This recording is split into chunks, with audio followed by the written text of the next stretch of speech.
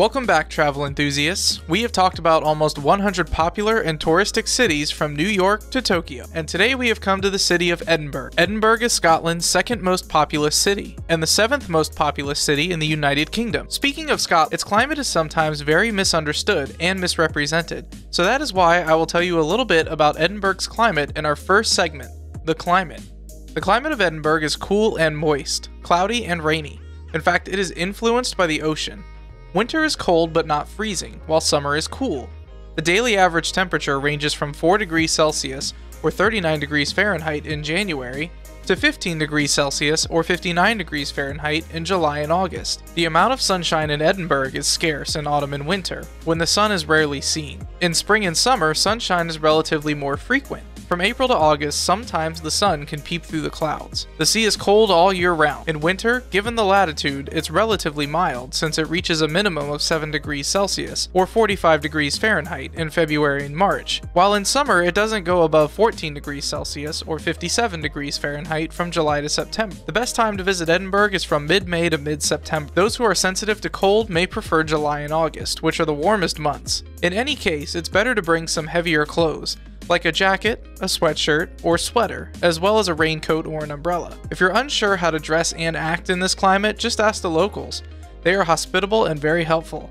Let's get to know them a little better in our next segment the people. With a majority of Scottish natives, Edinburgh is also home to people of Asia and Middle East, which makes it quite cosmopolitan in nature, and the city has a population of 500,000 people. The city is ethnically diverse, and young professionals flock around.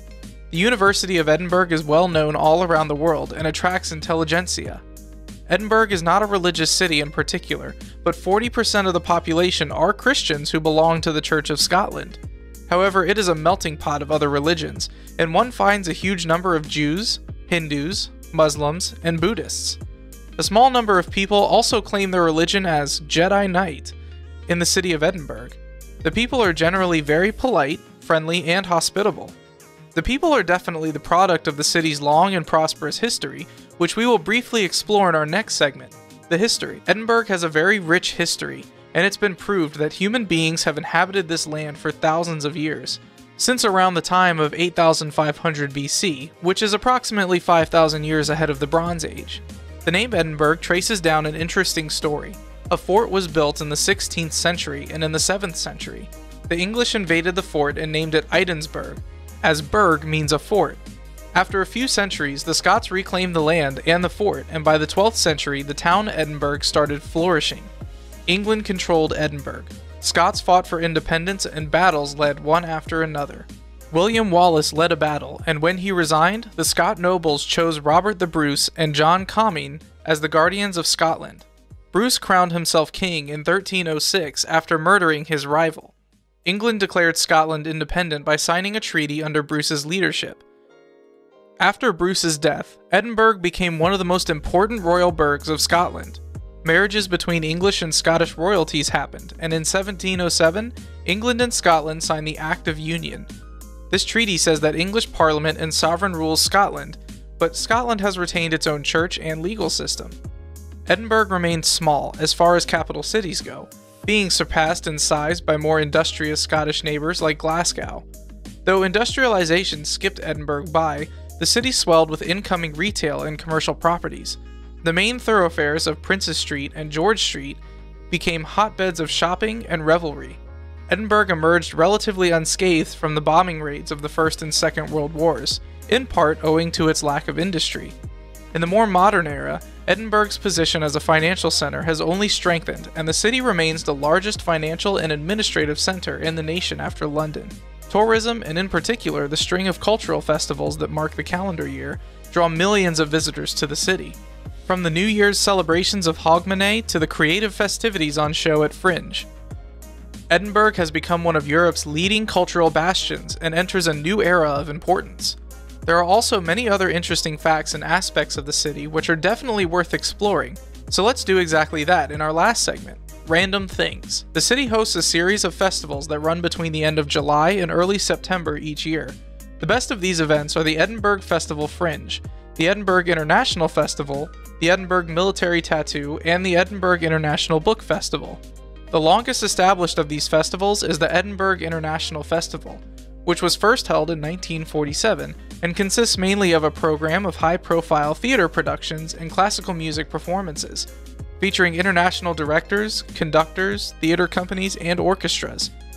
This has since been overtaken both in size and popularity by the Edinburgh Fringe, which began as a program of marginal acts alongside the official festival and has become the world's largest performing arts festival. In 2017, nearly 3,400 different shows were staged in 300 venues across the city. Outside the festival season, Edinburgh supports several theaters and production companies. The Royal Lyceum Theatre has its own company, while the King's Theatre, Edinburgh Festival Theatre, and Edinburgh Playhouse stage large touring shows. Edinburgh includes former towns and villages that retain much of their original character, as settlements in existence before they were absorbed into the expanding city of the 19th century and 20th centuries.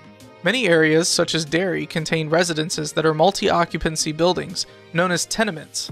Although the more southern and western parts of the city have traditionally been more affluent, with a great number of detached and semi detached villages. The historic centre of Edinburgh is divided in two by the broad green swath of Prince Street Gardens. To the south, the view is dominated by Edinburgh Castle, built high on Castle Rock, and the long sweep of the old town descending towards Holyrood Palace.